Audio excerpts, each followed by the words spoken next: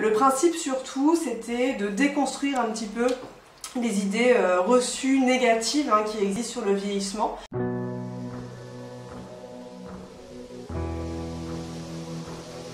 En gros, on a un petit peu l'impression qu'il y a soit d'un côté les seniors actifs, soit les dépendants un peu en EHPAD. Et ce qu'on voulait aller euh, chercher, c'était euh, tout l'entre-deux, toute la complexité vraiment de ces années de vie.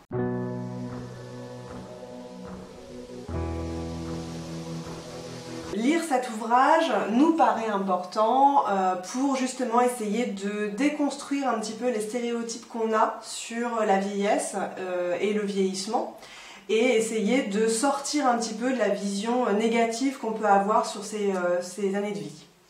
Et puis c'est aussi peut-être un ouvrage qui nous apprend aussi de, nouvelles choses et de, même de, nouveaux concepts, on pourrait dire, euh, sur, euh, sur l'avancée en âge, dont on n'entend pas nécessairement parler dans la vie de tous les jours. Euh, parmi lesquels il y a par exemple l'âge subjectif qui est abordé dans un des chapitres, la notion de ressources cognitives qui est effectivement un des facteurs très importants pour arriver à bien vieillir, et puis également une notion euh, qui est développée dans l'accompagnement des personnes âgées en EHPAD, qui est par exemple le positive care, l'accompagnement positif. Nous, on veut prôner justement quelque chose de, positif de l'avancée en âge, des facteurs positifs de l'avancée en âge. Alors attention, un positif, ça ne veut pas dire, euh, veut pas dire naïf. Hein. On est conscient qu'avec l'âge, il y a tout un tas d'aléas qui vont arriver, mais pour autant, ça ne veut pas dire qu'on ne peut pas bien vieillir. Et mettre en avant aussi les facteurs euh, positifs du bien vieillir, c'est aussi euh, peut-être avoir un poids sur les politiques publiques qu'on peut éventuellement développer à l'heure actuelle.